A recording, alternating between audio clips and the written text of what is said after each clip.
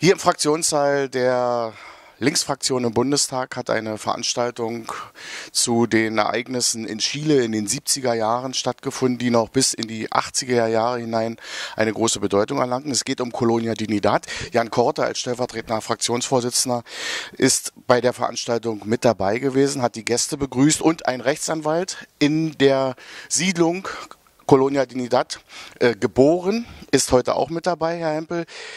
An Sie als erster die Frage, was haben Sie für einen Eindruck von dieser Veranstaltung hier im Fraktionssaal der Linken im Bundestag? Also zum ersten Mal, dass es Hoffnung gibt. Äh, wir sind ja schon eine Woche am Arbeiten und jetzt hier dieses Treffen heute, also positiv, muss natürlich wachsen in andere Fraktionen rein, weil das Thema der Colonia Dignidad äh, ist nicht nur ein Thema der Linken, war es mal früher. Und das hat gerade dazu geführt, dass das Thema sich so hingezogen hat. Und das ist ein menschliches Thema, ein humanes Thema. Und das muss aufgearbeitet werden, weil die Opfer und die Täter noch leben und praktisch die Opfer das Leid immer noch tragen und damit in Deutschland und in Chile sitzen. Jan Korte kennt dieses Thema schon lange, beschäftigt sich unter anderem damit auch schon äh, recht lange. Was war dein Eindruck von der Atmosphäre hier, von dem, was auch Betroffene gesagt haben und was ist aus deiner Sicht äh, der Fraktion bei diesem Thema wichtig? Ja, zunächst einmal war das natürlich äh, extrem bewegend, auch die Schilderung von Herrn Hempel zu hören, äh, wie er dort aufgewachsen ist und vieles andere mehr. Ist natürlich beeindruckend, wenn man auch äh, die Mütter der Verschwundenen hier äh, treffen kann, äh, was mich natürlich auch politisch schon sehr geprägt hat in meiner Geschichte. und für mich ist natürlich eine entscheidende Frage, und das wurde ja hier heute übergreifend gesagt, es gibt eine politische und eine moralische Verantwortung der Bundesrepublik Deutschland.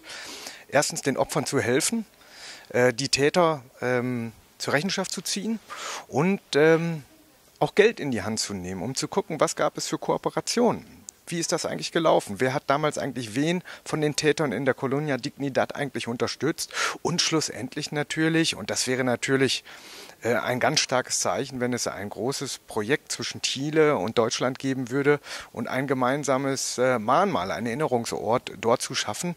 Und das wollen wir jetzt versuchen, möglichst fraktionsübergreifend auch hinzubekommen. Die Berlinale hat ja das Thema mit einem sehr bewegenden Film ähm, schon in die Öffentlichkeit gebracht. Äh, ansonsten gab es Dokumentationen in den vergangenen Jahren, Jahrzehnten kann man schon fast sagen. Was erwarten Sie, Herr Hempel, als Anwalt vieler Betroffener jetzt in den nächsten Monaten und Jahren von Deutschland, von der deutschen Regierung und durchaus auch von der Öffentlichkeit? Also erstmal, dass die Bundesregierung endlich sich dem Thema annimmt und aufhört zu sagen, es ist ein chilenisches Thema. Die Täter sind Deutsche, die Opfer sind Deutsche, die Tat, äh, die Straftaten haben schon in Deutschland angefangen 1950 äh, bis unterm Rhein geragt bis 2000, ins Jahr 2005 und die Bundesregierung jetzt hat sie den Film direkt unter der Nase, sieht, das ist ein deutsches Thema und es ist kein chilenisches Thema, wie es immer gesagt wurde. Und dieses auf rohen Eiern tanzen vor dem chilenischen, vor der chilenischen Hoheit, vor der chilenischen Diktatur, vor den ganzen demokratischen Regierungen, die kamen, das muss aufhören, es muss artikulisiert werden, ein, wenn es notwendig ist, muss ein Sonderbeauftragter beauftragt werden, um das Thema äh, direkt zu bearbeiten. Also das Thema, der Film führt dazu und dank dem Regisseur Florian Gallenberger, der sich sehr reingekniet hat in den Film, der sich praktisch mit vielen Opfern unterhalten hat und den Film tatsächlich äh, dazu, also es tatsächlich geschafft hat, äh, einen guten Kinofilm zu machen, aber so realistisch wie, wie, wie, wie möglich. Und die Tatsache ist, der, der Film zeigt das perverse innere System, die Dynamik der gegenseitigen Spionage und wie Opfer und Täter da äh, zusammengelebt haben, zu, so, zusammen ge, geschafft wurden.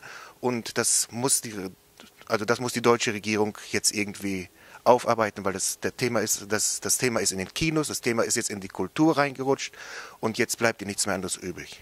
Inwieweit kann dann die Opposition gemeinsam Druck machen? Ich hörte auch, dass Teile der Sozialdemokraten da auch aufgeschlossen sind. Na, wir werden natürlich auch mit den äh, Parlamentariern der anderen Fraktionen das Gespräch suchen, äh, denn das bietet sich jetzt nicht für äh, Parteipolitik in erster Linie an, sondern muss jetzt hier was erreichen. Äh, denn es gibt auch viele schon, die alt sind, sondern man muss jetzt was tun. Wir werden das auf dem parlamentarischen Wege machen, über Anfragen, Anträge, anderes auch, aber vor allem auch über äh, Gespräche. Und äh, ich finde, was wir anschieben müssen, ist insgesamt noch nochmal eine Debatte, ähm, was ist aus den Tätern geworden, was ist aus den Opfern geworden, aber auch, welche Teile der Politik der alten Bundesrepublik haben eigentlich mit der blutigen Pinochet-Diktatur kooperiert. Und das gab es. Und äh, ich finde, das ist an der Zeit, das auch systematisch äh, jetzt aufzuarbeiten. Und da werden wir natürlich Druck machen. Und dafür war das heute eine ganz bewegende Veranstaltung. Vielen Dank. Vielen Dank.